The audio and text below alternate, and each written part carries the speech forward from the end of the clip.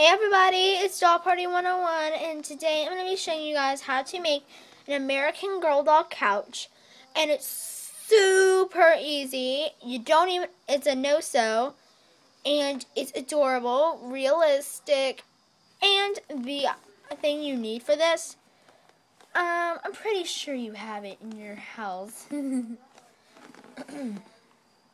okay, so you guys, you're going to need a pillow. Basic pillow.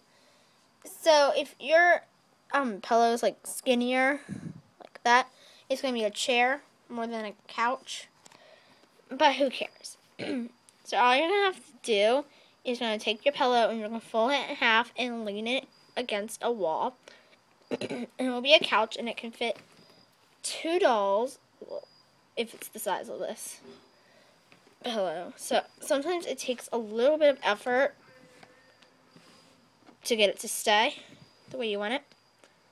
But then you'll have your couch that your dog can sit on. And just to add some personal touch, I'm going to take some pillows from an Our Generation bed. And I'm going to just put them on here. And then I'll show you guys the finished touch of my American Girl doll couch. Okay. So here's my final piece. And as we all see, it's really cute. It can fit my doll on it. And she can just sit here and watch some TV. Ooh, what's on today? Ooh la la. okay. so, yeah. That's how to make an American Girl doll couch. So, guys, don't forget to comment, like, and subscribe.